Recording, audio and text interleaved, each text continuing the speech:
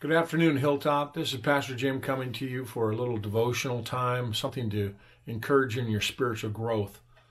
I was sitting on the couch with my dog. Her name is Katie. She's a nine year old German short hair pointer. She's all liver color. She was a beautiful dog. She's still beautiful to me. But as I was sitting there petting her, rubbing her head, and stroking her body, I, I, I looked down and I noticed that there's some tumors on her belly and she rolled over and let me rub her chest, and I noticed that there's some lumps there that shouldn't be there, and then she got gray around the muzzle, and and I thought, where did this come from? I mean, it, she's nine years old, but it just seemed like yesterday that she was a pup running around, full of life, and and now she does a lot of sleeping, and and uh, she's overweight, un, not unlike most of us, but she's uh, I call her my chunk of chocolate now because she pretty much lives for treats. but I was thinking about this today, just kind of waxing melancholy because, you know, time goes on so fast. And I thought about at the beginning of creation, it was all beautiful, perfect in every way. Adam and Eve had the run of the place, and adventure was theirs, and there was innocence there, and there was joy there, and, and relationship with God. And the Bible tells us in Genesis chapter 3 that the devil came in and uh, tempted them with being like God. And he basically tempted them with God's holding out on you. You can't have the fruit of that tree because God knows it's, you know, something better for you.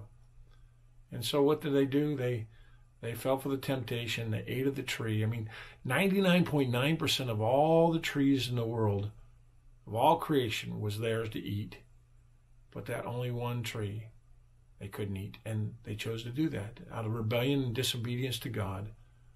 I've had people ask me, well, if God really loved us, and why would He have given us that choice, given us that, that tree to, to eat or not eat of? Well, in reality, that demonstrates God love, God's love because love isn't love unless you unless you can choose it.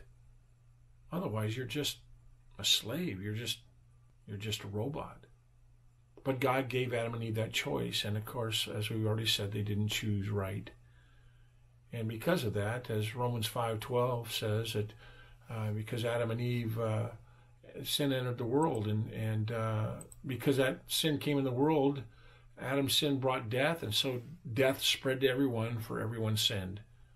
And that's the reason why we're in the predicament we're in, why there's death in this world, why there's disaster, why nature doesn't respond correctly, tornadoes and hurricanes and all these other things, and disease like the coronavirus that we have right now.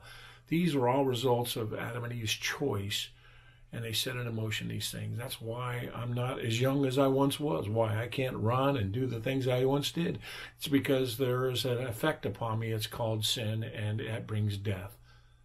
And so, again, not to bring everybody down, but I, I want to I want to bring something out to you because the wonderful thing about God is that He makes everything new. That's what Revelations 21 5 says. It says uh, that uh, He will wipe away every tear from their eye, and there will be no more death and sadness or crying. And the, and the one who's seated on the throne said, Look, I am making everything new. Oh, man, am I looking forward to that new. I mean, I'm going to have a full head of blonde hair. Maybe I'll have a shoulder length, you know, just so I again, these are the things we have to look forward to because Jesus gave himself for us. He died upon the cross so we don't have to die. And he gave his life so we can have eternal life in Christ in heaven, resurrected. So again, this world's going to get bad, yes. But one day, either he's going to take us out through the catching up, as the scripture says, the catching away, or we're going to be with him through that other path.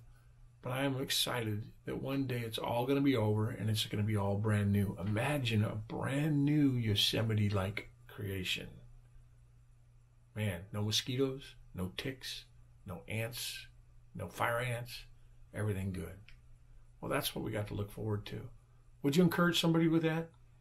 Would you share this with them or perhaps uh, you'll tune in with us on Sunday at 9 o'clock or 11 o'clock and please again share that. HilltopCommunityChurch.com is where you'll find us or on Facebook.